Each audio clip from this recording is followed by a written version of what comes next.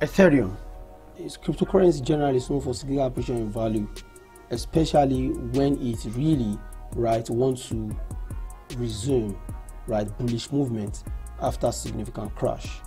This opinion is confirmed by the movement that happened after the crash right of Ethereum in March, which took it to about $85 level.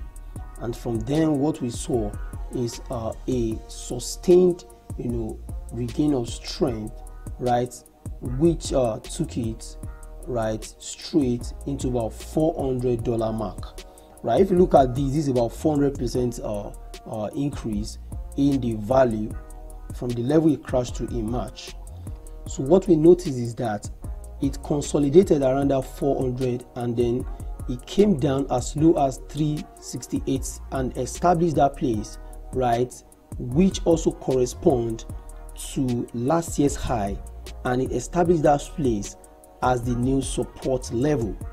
So i think cryptocurrency here this ethereum here right you still have more way to go right in the upward direction. And so the key levels to watch in the next couple of weeks right will be the 500 dollar mark right? And if it's able to break that depending on the volatility right? And the momentum which it breaks that level we can as well see ethereum right rise as high as 800 dollar mark which to me will be about a 900 right percent you know increase from the level it crashed to in the month of march. Okay? So uh, there are two ways to go about this currency.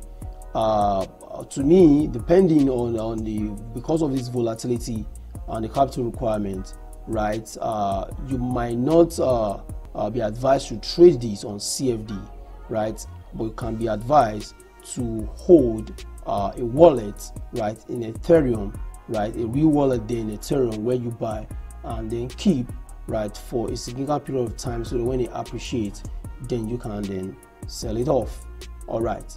But in terms of trading right? The volatility right on the cfd level here might not be favorable for every investor but the truth remains that this ethereum here is looking at trading at 800 dollar mark and even even above that right?